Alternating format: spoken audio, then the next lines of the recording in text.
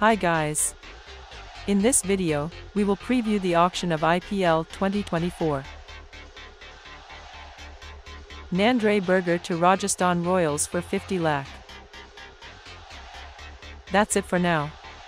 Subscribe our channel and don't forget to hit that notification bell icon so that you can get the latest sports updates and news.